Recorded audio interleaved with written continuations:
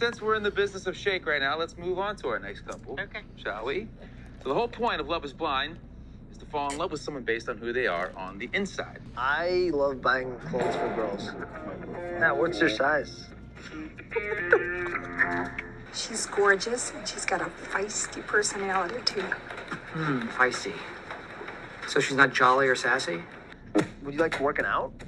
Yeah, not a huge fan. Really? Yep. Ooh, I get along best with individuals that work out.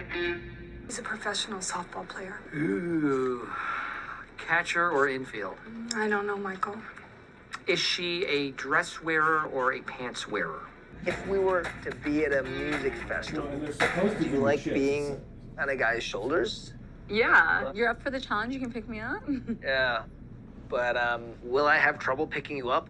Could we share a rowboat?